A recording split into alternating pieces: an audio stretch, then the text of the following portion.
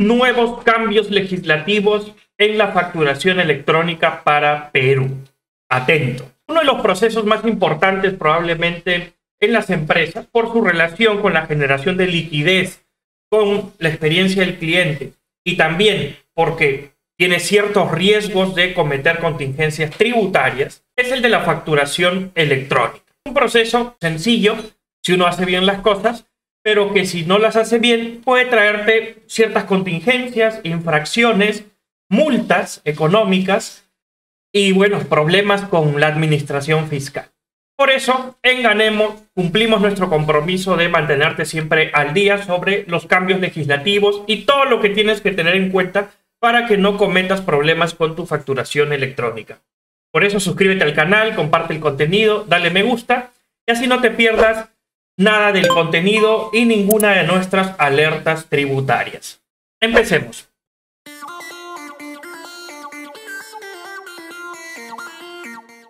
¿De qué se trata estos cambios?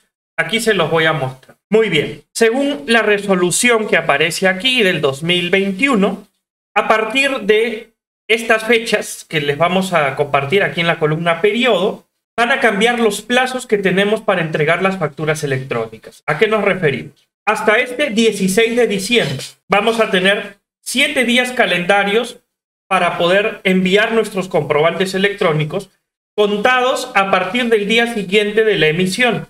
En otras palabras, solo hasta el 16 de diciembre se va a mantener en los plazos que veníamos manejando hasta ahora. ¿Qué va a pasar a partir del día 17 de diciembre hasta el final de mes, hasta el 31 de diciembre? Vamos a tener únicamente tres días calendarios contados a partir del día siguiente de la emisión. Si emito una factura hoy, sin contar el día de hoy, tengo tres días más. Se reduce. Antes tenía siete, ahora tengo tres.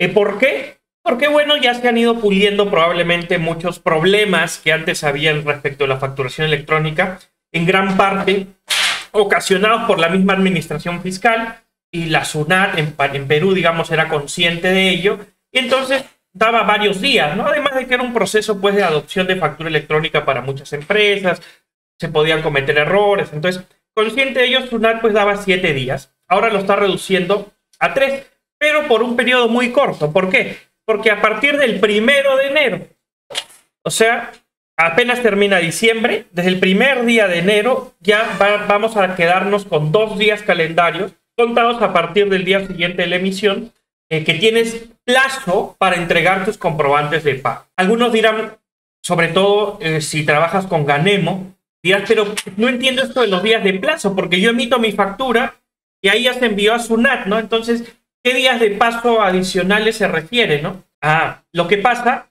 es que no siempre se envía la factura en ese momento en que la estamos emitiendo.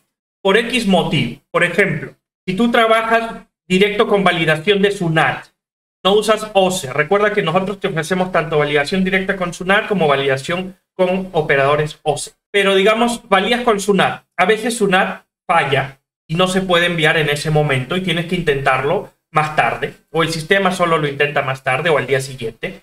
Entonces, en ese momento no es un envío síncrono, no se envía en ese instante. Y tenemos que enviarlo después, con fecha posterior a la emisión. Hasta el 16 de diciembre teníamos siete días para hacer ese envío. Pero ya a partir de ahorita, digamos, eh, ya del primero de enero del otro año, solamente vamos a tener dos días. Es decir, si no se logra enviar por X motivo en ese momento, se envía al día siguiente. Con eh, la validación OCE, estos problemas casi no pasaban o pasaban menos, ¿no? Entonces, generalmente todas las facturas que se envían son aceptadas porque no tenían ese problema de validación que a veces tiene SUNAT y sigue teniendo, ojo, pero ya es mucho menor, ¿no? Eh, ¿Para qué otros casos te puede servir? Imagínate que emites una factura y tiene un error, no un error de rechazo, sino un error que te origina una observación. Y te dice, eh, tiene una observación que se puede regularizar como que no tienes el número de DNI. O estás emitiendo una factura y en lugar de otorgar un RUC, estás dando un DNI porque por error no, no te percataste. ¿Qué puedes hacer? Puedes conversar con tu cliente y decirle, señor, para su factura necesito su RUC. Llenas el RUC como debe ser y envías la factura. Entonces, tendrías hasta hace poco, digamos, hasta el 16 de diciembre, tenemos siete días para hacer esa corrección.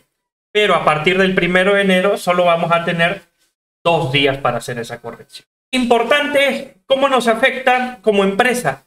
Debemos incluir en nuestro proceso de revisión de nuestro proceso, como un protocolo más, el verificar cumplir con estos días.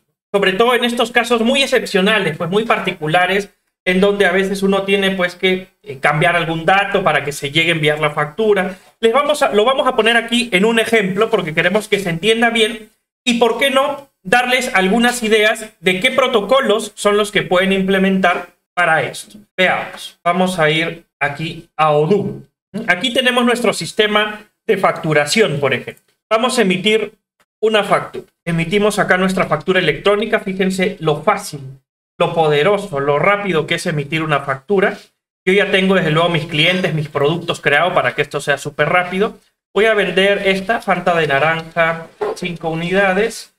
Y una cola inglesa también, 5 unidades. Lo confirmo y hasta ahí ya tengo la factura en el sistema con toda la contabilidad y todas las finanzas alrededor de esto todo automatizado, pero vamos a enviársela a Sunat. Le damos clic aquí en enviar ahora y ya está. Qué fácil. Nunca antes había sido más sencillo emitir una factura electrónica. Esto ya está en Sunat. Y como la mayoría de clientes y de empresas trabaja de esta manera, entonces realmente no, no tiene que preocuparse por todo, todo esto que hemos visto, ¿no? Por todo esto de los días de envío de facturación electrónica, no tiene que preocuparse. ¿Por qué? Porque apenas emite la factura, esa factura la envía a Sunat y ya está presentada en ese instante. Entonces, no aplica estos periodos. Pero veamos otro caso. ¿Qué pasaría si, digamos, vamos a usar el mismo ejemplo con este cliente, pero digamos que este cliente por error yo lo creé mal, por humano. Digamos, en lugar de ponerle eh, aquí el RUC, le puse el DNI. El sistema no me va a dejar porque tiene medidas de control, ¿no? Me alerta, me dice, no puedes. Entonces, vamos a cambiarle acá tipo de documento DNI y ahora sí, pongámosle un DNI. Y el RUC lo voy a pegar acá para no, no olvidármelo. voy a poner momentáneamente aquí y le voy a poner aquí un DNI. Entonces, este cliente, que es una empresa, yo por error lo, lo creé con tipo de documento DNI. Yo sé que la mayoría de ustedes que nos ven son muy diligentes con su trabajo y este error que acabo de cometer no lo van a cometer. Pero, digamos, forcemos la situación para eh, tratar de ejemplificar cómo se corrigen estas cosas. Vamos a añadir, igual vendamos un par de productos. Una Fanta voy a vender 5 unidades. Y de este otro producto, una Coca-Cola, vamos a vender 10 unidades. Ya está. Lo confirmamos y lo envío a la administración fiscal. Uy, ¿qué pasó aquí? un mensaje amarillo, un error. ¿Cómo corregimos este error? Nos dice, el dato ingresado en el tipo de documento de identidad del receptor no está permitido. Claro, porque yo estoy queriendo emitir una factura a una empresa, pero en lugar de poner el número de identificación fiscal de una persona jurídica, estoy poniendo un DNI, o sea, otro tipo de documento que no está relacionado a esa compañía. Y ya la administración fiscal en este caso el ente validador, el OCE, está detectando ese error y me lo está informando. Entonces, no me va a aceptar la factura. Es más, aquí dice, el documento tiene un formato incorrecto. Y así como este caso, eh, ahorita ya está registrado en el sistema y va a quedar ahí. Podría tener otras situaciones, ¿no? Que emita boleta a un cliente que tiene RU, por ejemplo, cuando no, debería poder hacer eso. Que emita un, una factura sin los impuestos. O sea, puede X motivo por el que se genere un error, porque no facturé mal. Entonces, ¿qué hacer? ¿Qué te sugiero hacer en esos casos eh, teniendo en cuenta estas fechas, este cambio legislativo? Te sugiero tener un protocolo de revisión no de cinco días, no de siete días, sino probablemente diario o interdiario, que te permita verificar, sobre todo si, si sueles tener este tipo de problemas, que todo se haya enviado correctamente. ¿Cómo hacemos eso? Mira, aquí voy a, por ejemplo, agregar un grupo. Vamos a agrupar por el estado de envío de la factura electrónica. Y ahí está, fíjate, mira, tengo, agrupo, ¿no? Y tengo por enviar uno.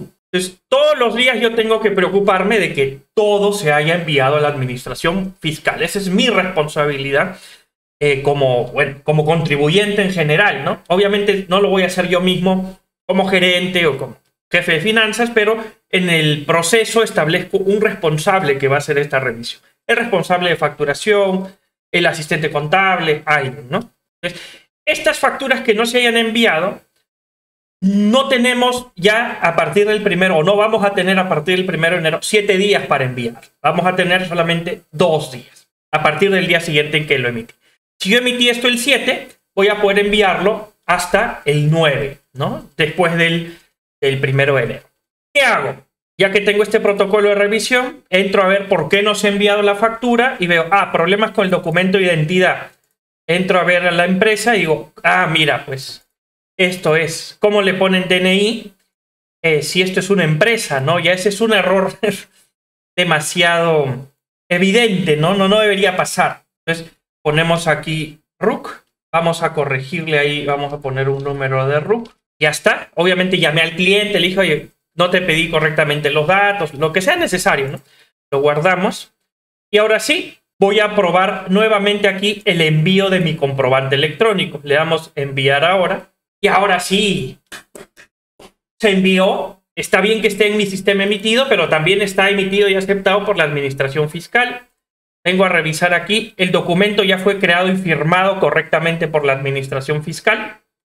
Entonces, regreso a mi lista de facturas ya no tengo nada por enviar y este protocolo de revisar y asegurarnos de que todo se haya enviado correctamente, en función a los plazos que ahora manejamos, que son estos, debemos hacerlo eh, antes de estos dos días calendario.